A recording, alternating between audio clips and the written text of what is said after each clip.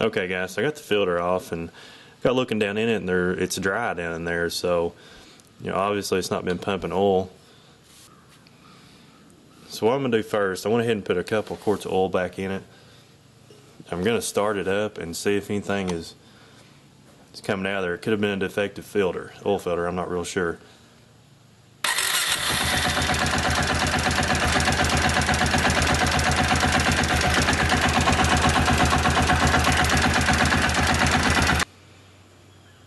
Okay guys, still no uh, oil being pumped. So what I'm going to do is remove this this cover. I believe there's a screen in there and see if it's clogged. Hopefully. Okay, I've got all these 8 millimeter bolts out that go around it.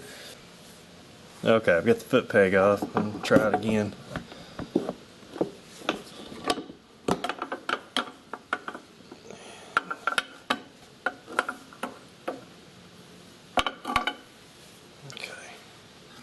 Here's the filter I was talking about. And then the oil pump's right behind it. You can see. Okay, so here's the oil pump screen. As you can see, it's not there. It's missing. So, get the puller out.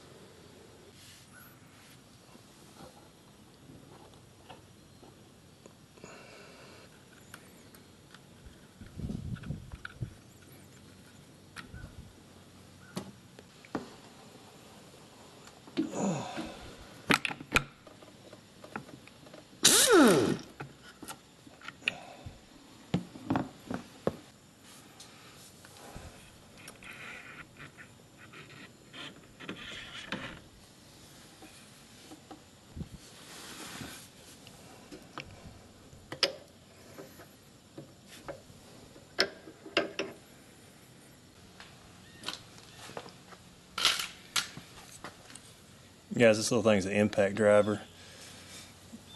Screws like this. It's a good tool to have to help get them out.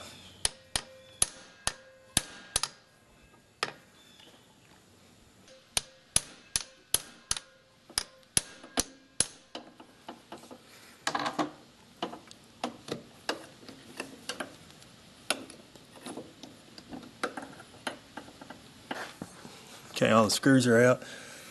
It's got a, some tabs back here. I'm going to try to lightly pry on it.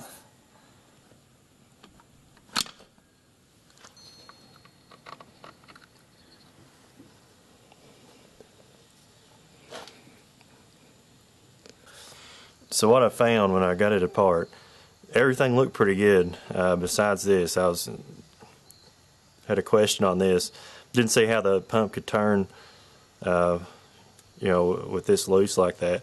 I mean, it almost feels factory. It feels like it's supposed to be that way.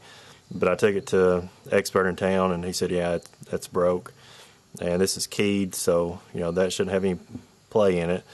And as you can see, the new one, you know, it's lock solid. There's no turning to it.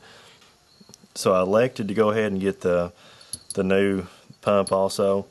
Uh, this is cheap actually. Um, this piece, the small piece, is like five bucks. The outer one is seven. And as you can see on the old one, you can see it's got some scar in there.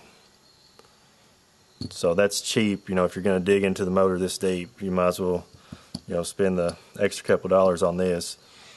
And this gear, uh, believe it or not, this thing cost about 75 bucks. So this is the most expensive part of it. And I also elected to go ahead and put a new screen in here. Uh, this goes on the bottom of the motor. Just slides in. It's like a pre-screen type of setup. That's what it looks like, and it just slides in. And then, of course, got a new gasket, and this gasket was 2168 So all in all, total parts bill on this is going to be 126.85. And to put this back together, uh, first off, the outer cover is going to go on. These you can't order these outer covers anymore, so make sure you try not to damage it. In the gear, and if you can see, there's two dots on this. These need to be pointing the same side. That just slides on like so.